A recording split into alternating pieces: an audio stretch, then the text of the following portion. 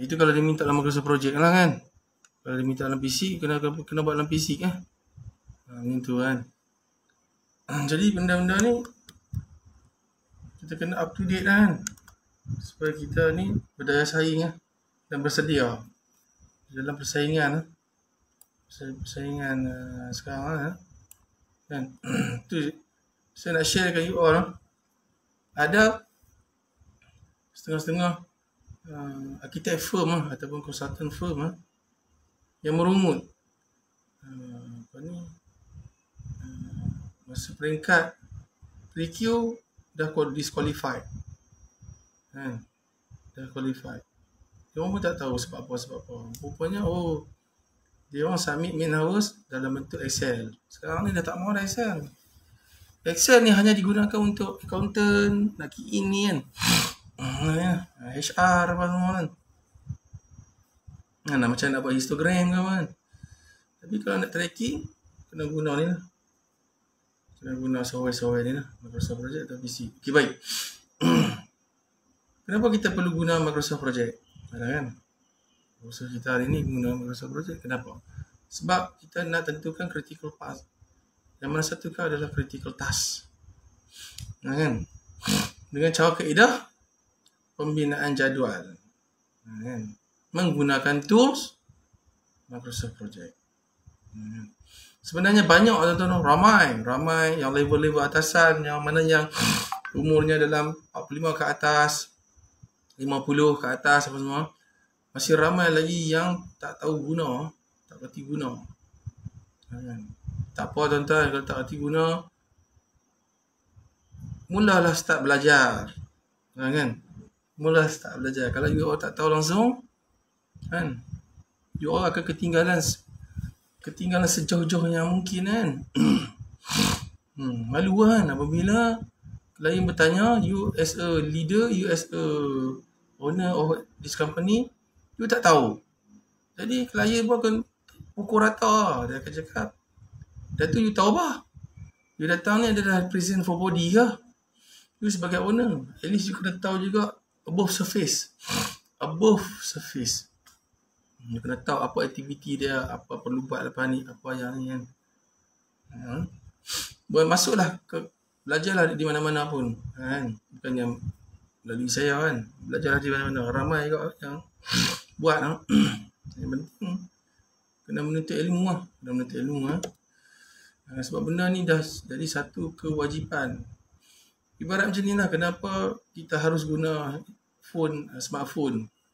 Kan? Sedangkan handphone-handphone Nokia dulu pun masih accurate lagi lah, masih relevan untuk guna kan. Tapi kita akan ketinggalan dari segi teknologi, maklumat melalui grup WhatsApp, Telegram dan lain-lain. Ha, kata tak? Sama juga macam kenderaan. Kan? Sama lah bergerak lah tu. Tapi kenapa kita tukar kepada kereta Continental kan? Ha, kan? No? Tepuk dada tanya selera. Kan? Tapi saya nak beritahu lah. Microsoft Project ni bukannya boleh belajar dalam masa tempoh yang singkat. Dia kena take time. Macam mana you nak, nak, nak, nak dapat mudah dan cepat. Walaupun dia take time. Ha? mungkin jangka hayat untuk you belajar tu, untuk you mendalami mungkin ambil masa dalam 3-4 tahun. Tapi apabila you always berdepan dengan masalah dan tak lari pada masalah, you akan cepat belajar. Cepat belajar kan? kan? Bagus kan? Bagus. Macam contoh projek-projek yang mengalami masalah. Ha, kan? Ha, macam-macam tindakan yang akan dilakukan oleh pihak klien. Kan? Klien pun kadang-kadang pun dia bukan tahu sangat. Dia tak tahu sangat. Dia pun belajar pun attend kursus. Macam tu lah kan. Dia bukannya masuk apa ni masuk apa ni uh, full time punya ataupun lifetime punya belajar Microsoft Project lah. Hmm. Tak pun. Tapi ramai jugalah klien-klien yang masuk serta pensyarah. Pensyarah, pensyarah. ramai juga yang masuk uh, kelas constitution saya. Uh, no? Kita buat lifetime. Kita so far kita dapat package lah kan? Ada empat package.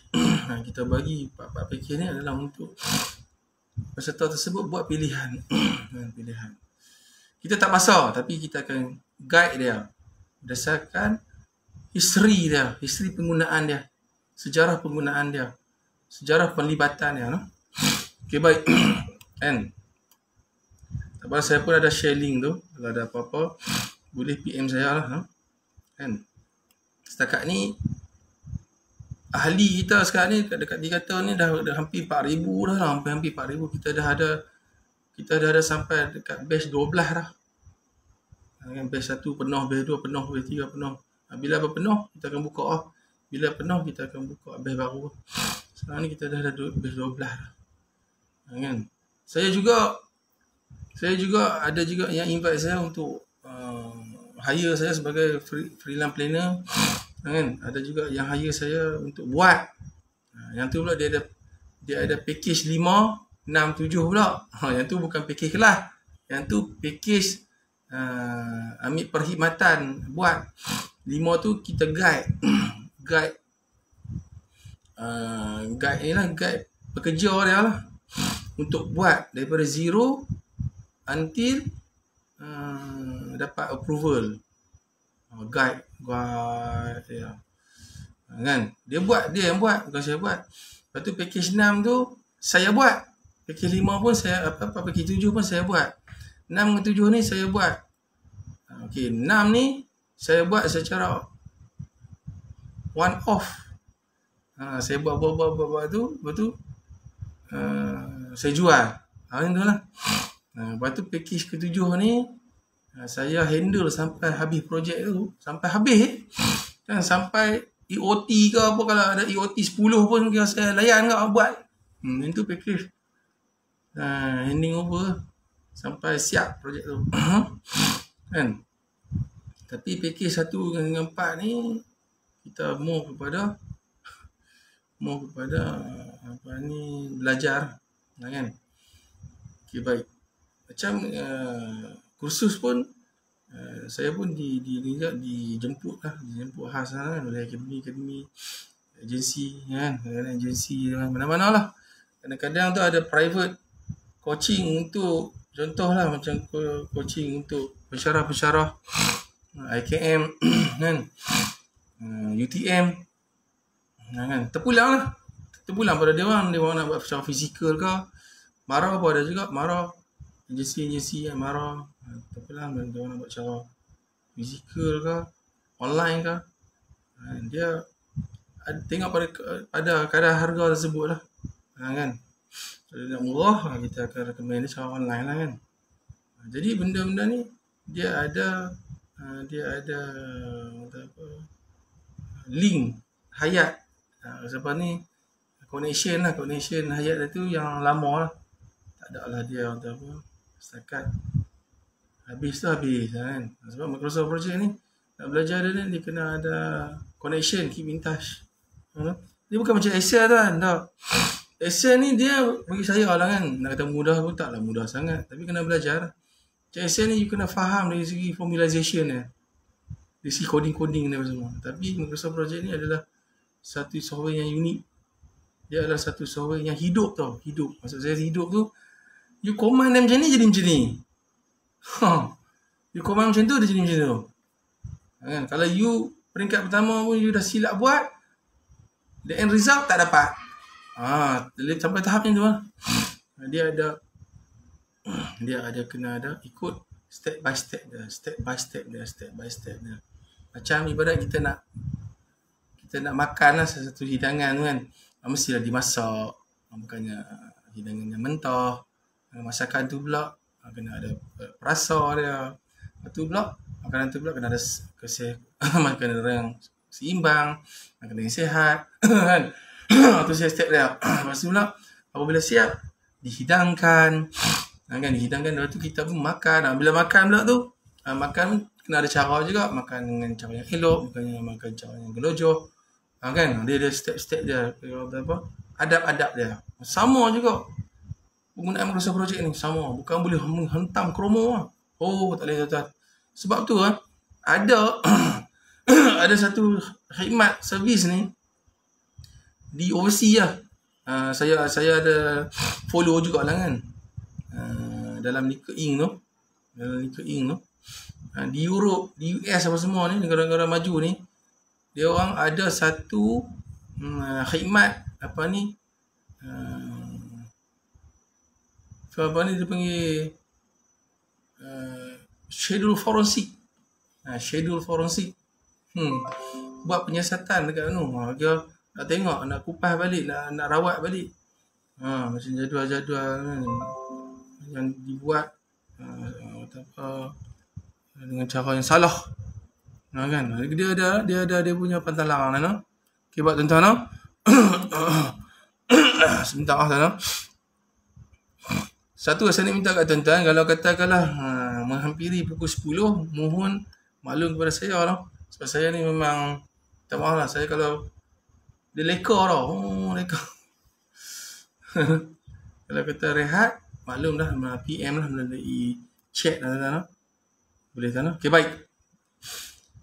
First kali ya. Saya tak mau nak sentuh lah kan pasal pengenalan dia. Sebenarnya banyak tuan Banyak ni pengenalan dia ni. Tapi kita takkan ada masa. Hmm, kita takkan ada masa. Pengenalan pun ada juga kan. Ha, tapi saya nak terus straight to the point. Kita nak sentuh kita nak sentuh uh, berkaitan dengan program ni terus uh, program ni iaitu kita bagi pengenalan tentang apa itu dipanggil CPM CPM CPM kadang-kadang CPM CPM CPM kan saya CPM sebenarnya CPM tu adalah method. Ha, kan? Kadang-kadang klien tanya kan klien apa ah, bila you nak submit CPM bila you nak CPM sebenarnya nama nama nama hari sebenarnya adalah work program. WP ya. WP ha, WP kan? Work program sebenarnya nama hari ha, kan? Ha, ni ikut ni ada lagi ni. Ha, kan? Tapi kalau saya saya cerita ni panjang cerita kan kita tak mungkin lah kita tak kita dia jadi macam mana dia jadi macam terbawa pula peringkat dan beginner ni kepada minggu depan kan. Oh, kan. Nak tu bagaimana Microsoft Project membantu menguruskan nah, ni ni cerita-cerita dia lah kan, apa kan. Tapi kalau cerita ni memang panjang kan. Tapi tak apa saya ringkaskan lah Microsoft Project ni uh, wujud itu versi yang pertama dia pada tahun 1985. Hmm. 1985 dah wujud dah. no, versi pertama diwujudkan pada 1985. Saya pun tak ada guna. Saya pun tak ada guna. saya cuba nak cari pun tak boleh lah.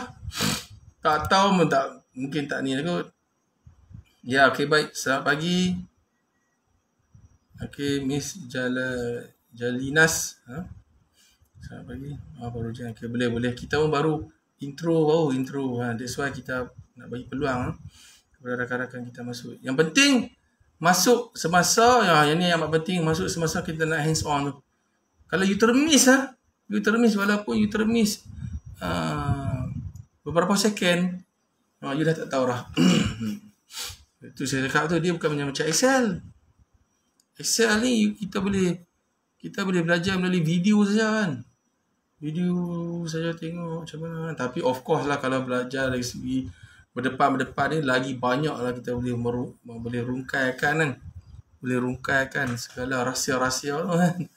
Tapi Microsoft Project ni dia kena perlu ada art. Ha, seni tu art. Kena ada kena ada jiwa yang tu kena be passion Masa pula kalau nak guna ni dia kena ada pengalaman serta kemahiran. Ha, kena seiring ni. Pengalaman menguruskan projek dan kemahiran menggunakan Microsoft Project. Kena seiring lah ni. Ha, tahu tak? Ada ada contoh ha, macam fresh graduate. Ha, fresh graduate. Ada juga yang fresh graduate masuk ha, dalam kelas tuition saya ni. Tuition lifetime saya ni. Kan dia orang masuk. Memang dia orang, dia orang, kita tengok dia orang memang boleh buat. Tapi ada yang tak kenal. Ha, dari segi susun atur tu, dari segi option yang dia pilih tu, ha, tak kena dengan pengalaman construction industry. Mungkin cara option yang digunakan tu mungkin sesuai untuk industri lain. Ha, tuan-tuan tahu? Ha, kan? Kamu dah. Contohlah macam katakanlah nak nak buat wedding planning. Boleh guna Microsoft Project? Wedding planning yang bajet dia bernilai 2 juta tu kan. Ha, memang kau kau heboh kan 2 juta. Boleh? Ha, dia ada setting dia. Dia boleh dia, dia punya duration time period dia tu boleh tukar daripada days ke hours. Hours ke minute. Ha, nampak? Nah, dia boleh tukar kepada yearly, quarterly. Dia boleh tukar kepada month. Dia boleh tukar kepada weekly. Ha, nah, kita, kita tahu benda-benda ni. Lepas tu kena ubah lah setting. Dekat ni pula, dekat chain working time. Ha, berbagai-bagai. Lepas tu kita kena menjiwai diri kita ni. Dan dalam masa yang sama kena selami kemahiran menggunakan Microsoft Project. Betul tak? okay, baik. okay, ni kalau cerita ni panjang kan ni. Panjang, panjang. Berapa? Berapa page lah. Kan? Panjang lah, panjang. Cerita dia panjang, panjang, panjang, panjang. Banyak lah ke, ke penggun, penggunaan dia ni. Penggunaan dia lah. Sampailah ke untuk apa nampak. Sampai sampai ke nak set up EOT. Ha, boleh. Kita boleh tengok loss expenses kita loss expense ni kalau di bawah kelas JKR PWD 203A di bawah kelas 44.1 sampai tahap ni ha, Microsoft Project ni dapat membantu kita untuk dapatkan balik kita punya uh, lanjutan kos. Ha, macam mana kita nak justify? Benda-benda ni dah. Dia keluar boleh keluarkan satu evidence figure-figure dia tu untuk kita per, uh, bentangkan kepada klien. Ha, tahu Bukan yang boleh main main apa ni klik klik klik klik ni tu kan. Lepas tu present, lepas tu ha, kan submit piece of paper. Budak dengan piece of paper tu lah kita boleh menyelamatkan wang ringgit kita. Ha, kan? Yang tak apa dan boleh mengurus perjalanan projek kita tu dengan cara yang berbaloi at least kita kena tekanan tu tekanan yang berbaloi bukannya tekanan yang tak berbaloi dan dia adalah satu program yang membantu kita untuk bercakap bagi penerangan kepada klien. Ha tak? Dulu okey dulu masa zaman-zaman dulu tak ada software ni. Dulu macam klien-klien semua ni dia rajin kan? Datang kadang-kadang tu datang pun meeting pun sambil buat buat apa work about berjalan sok gini atas tu ha, tapi dulu zaman-zaman dulu dia punya kontrak apa ni kontrak duration period dia panjang. Panjang. Ha, kan? Yalah zaman dulu kan? Tu yang bangunan zaman-zaman dulu kukuh. Dibuat dengan penuh. Terperinci. Ha, kan? Dengan artnya apa semua tu yang kukuh sampai ke, ke hari ni. Sekarang kan? Dengan-dengan runtuh. Eh, runtuh. Ada setengah runtuh kan? Sebab buat dalam keadaan yang struggle. Dalam keadaan yang uh, masa terhad. Ha. kan lepas tu uh, less supervision lah jangan terlepas pandang nak jimat ha, kan ha? supervisor, supervisor pun berapa orang ha? dia punya radius radius project berapa punya jauh besar kan kan mana mungkin dia boleh Lepas tu paperwork nak buat lagi. nah, ha? Jadi multitask lah. banyak lah, panjang lah. Banyak, cerita panjang. Saya saya start betul-betul serius guna program ni tahun 2000 2007 2008 ni tu. Ha kan. Semua mengenali tu pada 2005 2006 kan kenali lah ada usik-usik tapi apa tak tahu ha, masa tu version 2003 lah ha, saya start guna version 2003 ha, sebelum sebelum tu saya tak tak, tak, nampak lah kan. Tak ada nampak. Masa tu saya betul-betul serius menggunakan Microsoft Project ni tu pun dipaksa. Tu pun dipaksa. Masa tu jawatan saya CNS Engineer. Masa bekerja dengan DRB Hacom saya tugas saya ni review lah. Review komen architect work. Kan macam ni lah buat value value management ha, VM ataupun VE kan value engineering ha, kan? Tahu. Lah kan? Tengok apa ni apa yang over design dari segi consultant ha, lepas tu check dari segi harga apa semua kan? Ha? jadi benda-benda ni lah. Banyak membantu saya lah you sampai tahap saya boleh jadi tak tahu lah saya boleh jadi penasihat lah macam tu lah. Saya pun tak sangka lah kan jadi ramai yang datang minta khidmat nasihat saya dan saya dapat benda yang baru. Ha, benda baru lah dapat benda baru